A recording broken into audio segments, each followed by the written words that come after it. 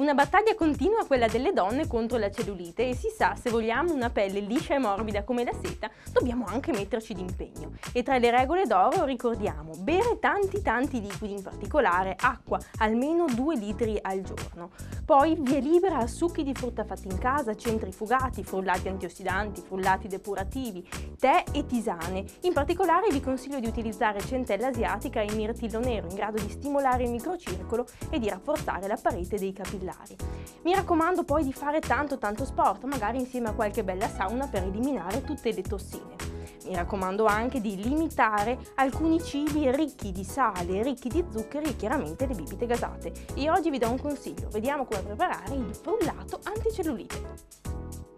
Per preparare il frullato anticellulite abbiamo bisogno di 150 g di mirtilli neri, 150 g di ananas fresco, 200 g di polpa di pompelmo rosa, 150 g di fragole, qualche cubetto di ghiaccio, Qualche cenno teorico per capire il perché questo frullato si può definire anticellulite. Ho scelto tutta la frutta ricca di acido citrico, quindi di vitamina C poi in particolare ho scelto anche i mirtilli neri che vanno benissimo per contrastare la cellulite perché vanno a stimolare il microcircolo e a rafforzare la parete dei capillari sanguigni.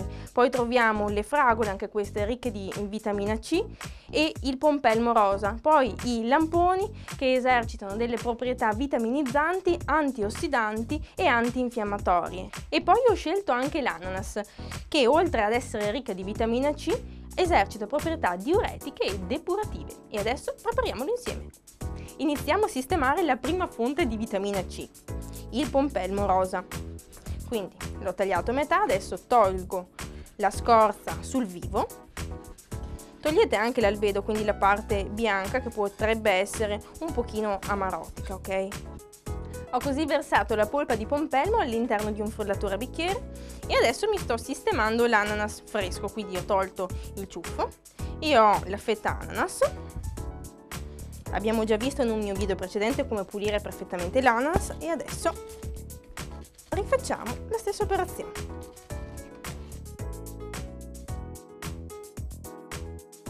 Ho così calcolato 150 g di ananas fresco adesso posso anche versare il nostro ananas all'interno del frullatore. E adesso non ci resta che unire anche tutta l'altra frutta, ovvero i lamponi, i mirtilli e le fragole tagliate a pezzetti.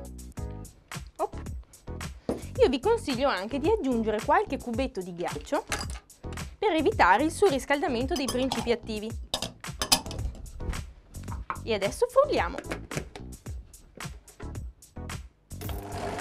E questo è il risultato, io vi consiglio di consumarlo immediatamente e ricordatevi che in un frullato anticellulite, oltre a mescolare una buona dose di ingredienti antiossidanti, dovrete anche frullare un bel po' di sport e se al binomio alimentazione ed esercizio fisico aggiungete anche una buona crema anticellulite da applicare nella zona da combattere, sono sicura che il vostro obiettivo potrà essere raggiunto in tempi molto brevi.